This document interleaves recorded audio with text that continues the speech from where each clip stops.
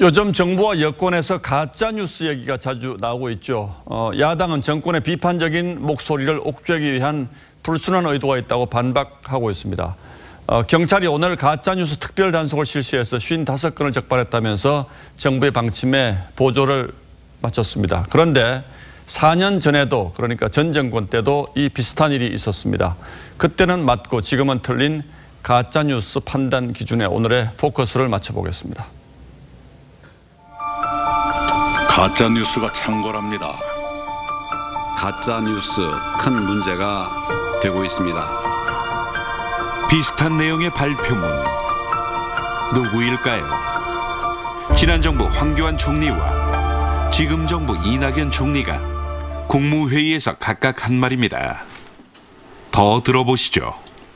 공론 형성을 저해하는 등 공동체 파괴범입니다. 관계 기관에서는 수사를 요청하시기 바랍니다. 정부만 바뀌었을 뿐 두 총리의 발언 전체는 닮은 꼴입니다. 국회도 마찬가지. 여야 모두 경쟁하듯 가짜 뉴스를 막아야 한다며 내놓은 법안이 쌓여 있는데요.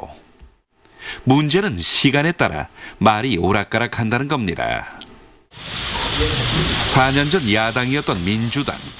SNS 뉴스의 순기능을 강조하다가 정화 기능이 있는 SNS 활동 공간입니다. 지금은 단속 방침을 세웠습니다. 조작 정보를 어, 전파하는 매개체인 SNS에 대해서 focusing을 해서 이에 야당 지금은 반발하지만 가짜 뉴스를 앞세워 언론에 재갈을 물리는 4년 전 여당 시절에는 엄벌해야 한다고 강조했습니다. 인터넷상에 떠돌아다니는 차마 입에 담기 어려운 저급한 소문을 예나 지금이나 같은 태도를 보이는 건 수사기관입니다. 이낙연 총리가 가짜 뉴스와의 전쟁을 선포하자 박상기 법무부 장관은 며칠 뒤 엄벌하겠다고 했는데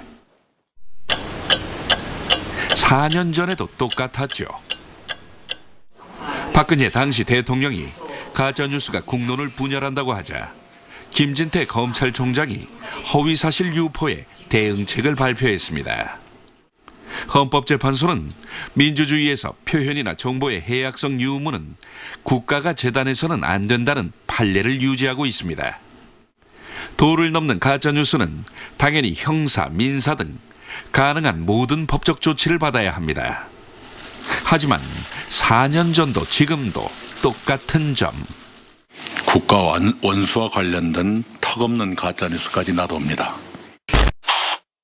국민을 대표하는 대통령에 대한 모독적인 발언도 권력이 비판받았을 때 가짜뉴스를 유독 심하게 규제하려고 들었다는 것.